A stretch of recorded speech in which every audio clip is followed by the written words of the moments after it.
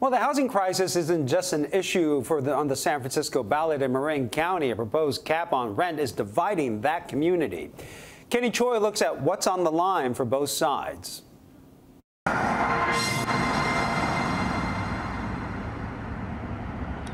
Freelance photographer Michael Sexton depends on the rental income from the duplex he owns. You're never guaranteed work. Uh, it comes and goes. There's nothing consistent. You don't necessarily have a consistent paycheck. Measure D in Larkspur would lower the existing state cap on annual increases to 5% plus consumer price index or 7%, whichever is lower.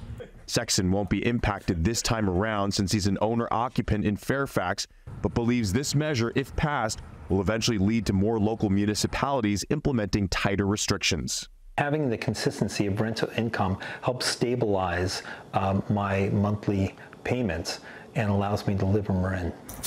Philip Hallquist has been renting his one bedroom unit in Larkspur for nine years. He says new corporate ownership and annual increases growing closer to the state maximum prompted him to fight back.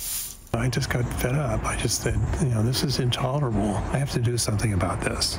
The paralegal and other tenants started showing up at city council meetings demanding lower caps on rent hikes. You feel like that's pushing people out? Oh, I know it is.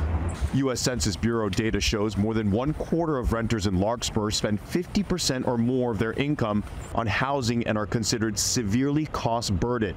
It's um, it's forced eviction in a sense because people feel like, well, oh, you know, I can't, you know, I can't afford another rent increase. I guess I better find another place to live.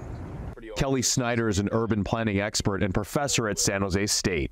We want to open and and and you know put the accelerator on building as many new units as possible. And rent control measures usually do the opposite. Snyder believes changing zoning laws and increasing state grants and tax credits to build subsidized housing have better targeted outcomes for those who need it, but also says those options require massive amounts of funding and tax dollars.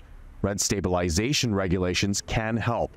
It is a legal way to help a community that has no other options. Hallquist's anger isn't directed at mom and pop landlords, but rather corporations and private equity firms maximizing profit and squeezing the working class struggling to pay rent.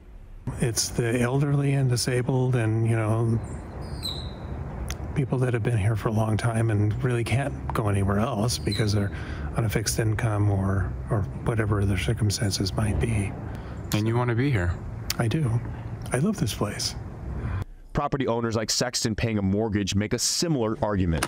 It helps, helps me be able to live in Marin and helps me to be able to live in this house. It's a plea from both sides in the midst of a housing crisis extending far beyond the Bay Area. Well, there are several exemptions to these rent caps for certain buildings, like single family homes. The measure requires a simple majority to pass. Again, CBS News Bay Area is your place to go for all the results from today's primary. We'll have complete coverage on KPIX, Pix Plus, and streaming on the KPIX.com and the free CBS News app. Well, thanks for streaming CBS News Bay Area. I'm Ryan Yamamoto. We'll be right back with your first alert forecast and a look at your top stories.